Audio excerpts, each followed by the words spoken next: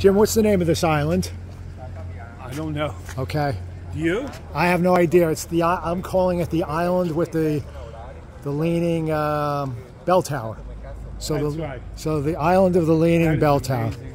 Let- let me just- So we're in some other island. We went to Murano. Didn't see anything. Well, Jimmy uh, bought something, but I didn't see my glasses. So when we go back to Venice or the main island, I'll get something. But nice little island. I think this is the famous island where they make lace.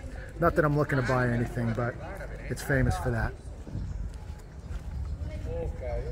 As you can see, I'm wearing a cool hat because I have this pasty Irish skin and I don't want to get skin cancer anytime soon. So decided to uh, get a hat, which I think looks pretty cool on me. What do you think? So we're going to take a little gander around here and see what we can find.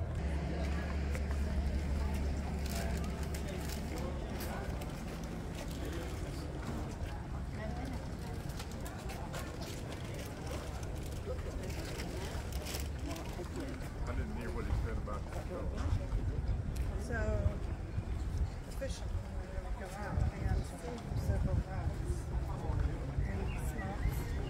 We think of how homes to like recognize it. Oh, this looks pretty cool, Jim. What's that? It's a little square, piazza. right. I'm sure we could find something.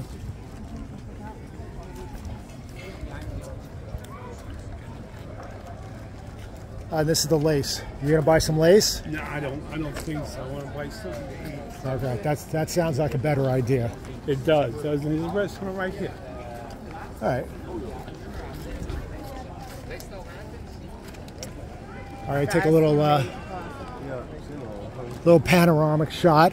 I'm gonna check out this little church. Oh, First World War, War of Africa.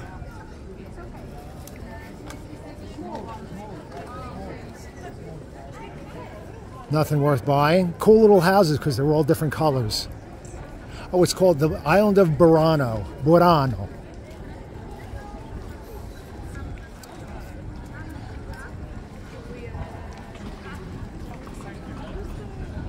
What's up? They're booked. They're booked. Yeah. All right, we'll go to this one. Maybe there's a McDonald's here. when uh, Piazzetta.